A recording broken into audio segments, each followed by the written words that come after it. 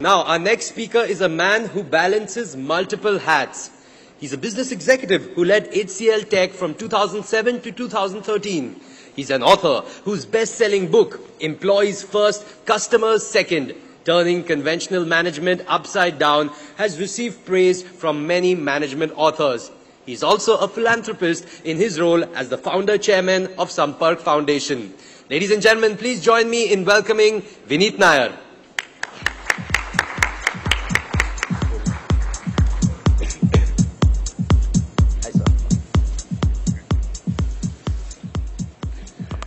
Good evening. I'd like to start with the story of an ant. There were two ants sitting and they were talking about their vision of life.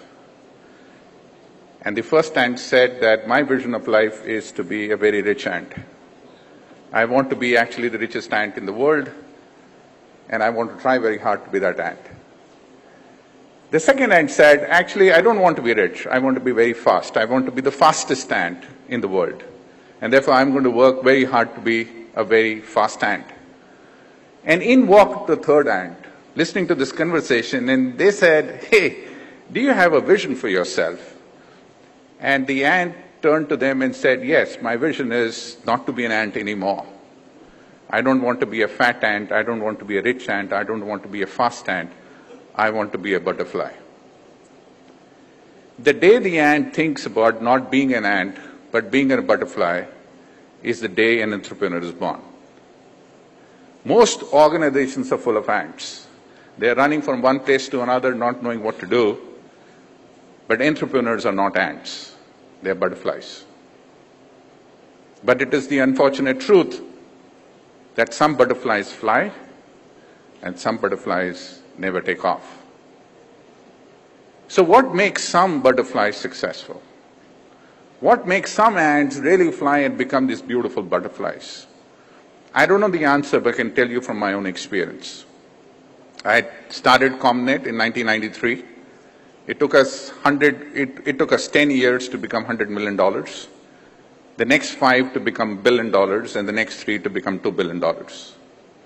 We started Sampark Foundation.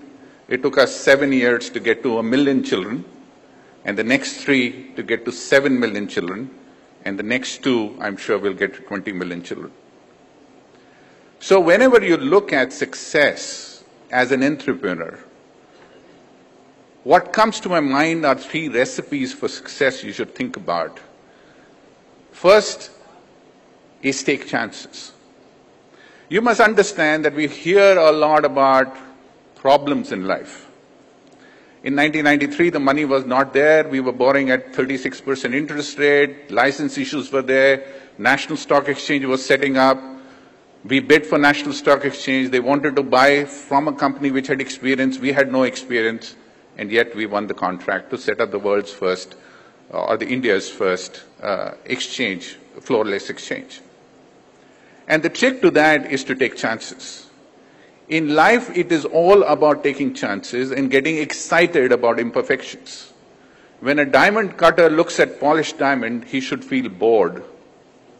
When he looks at rough diamond, he should feel excited. When a potter looks at rough clay, the potter should feel excited. So if you are an entrepreneur and you have decided not to be an ant anymore, then whenever there is a problem in life, you should feel excited because you are the only one who can pass over the bridge. Nobody else can. So therefore, if there is a license problem or there is a funding problem or there is whatever problem there may be, you need to look at the mirror and says, I will take that chance because I'm the only guy who can take the chance because I'm not an ant. The second is think impossible. You must, you know, I, I take a lot of leverage of this story, which has always inspired me, of this one armed boy who wanted to learn judo. And he went from one coach to another coach to third coach and said, Coach, can you teach me judo? And everybody says, No, one armed boys don't play judo. Till one coach said, Yes, I will teach you judo. And not only I will teach you judo, judo I will make you participate in a competition and help you win the competition. A one year of training later, this boy participated in a junior competition. He won the first round, the second round, the semi-finals, finals, and he had the trophy in his left hand sometime later. Everybody rushed to the coach and asked, What happened? We rejected this kid, you accepted the kid, and the kid won. How did that happen? And he said, You were looking at the wrong thing. You were seeing what he had or what he didn't have. I was looking at the opportunity of what I can do with what he had. He had only one arm, and there is an attacking move. The only counter to that move is to catch hold of the right arm of this boy and turn him around. And since he didn't have a right arm, there was no counter to that move. So every time he will attack, he will score. So the question here is that when you look at life with the lens of what can you do, not what you can't do, you will win. If you are not attempting the impossible, how will impossible happen? The reason you became an entrepreneur was to do the impossible. The reason you became an entrepreneur is you did not want to be an ant anymore. So why cry about things which only you can fix? Why not dream big? Why not dream impossible? Why not get excited by opportunities of attempting the impossible? Even if you die attempting the impossible, the world will notice only those people who are at least attempting the impossible, if not achieving the impossible. And if you don't attempt the impossible, impossible will not happen. No government is going to hold your hands. Nobody is interested in you. They are interested in their own thing. They have too many problems. But you are not an ant. You are a butterfly and you can fly. So take chances and believe in the magic of impossible. And the last and the most important, you can't do it alone. You must understand in the industrial revolution, when manufacturing industry was born, it was all about processes. Processes were put together and the manager was born. The role of a manager was to try and put people together and get 10 out of 1. That means get more output for every unit of input. But in the digital age, managers don't work because nobody wants to be managed. Your employees don't want to be managed. Your sons and daughters don't want to be managed. Even your wives and husbands don't want to be managed. The word managing is a bad word. Inspire. Inspire your teams to do the impossible. Inspire your teams to climb Mount Everest every day. If you don't inspire your teams, how will you achieve the impossible?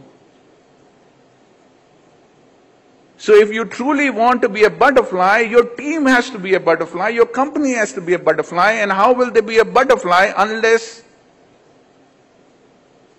you inspire them to be? And that is the question you need to ask. In India, that is the problem. We discuss the problems. We don't discuss opportunities. We don't discuss people attempting the impossible. We discuss the ants. We don't discuss the butterflies. We don't discuss the ants wanting to be butterflies. There is no fun in being a rich ant, a fat ant, and a fast ant. There is a lot of fun in being a butterfly, a failed butterfly or a successful butterfly, but butterfly it is. Congratulations, my butterflies. Fly away. Thank you.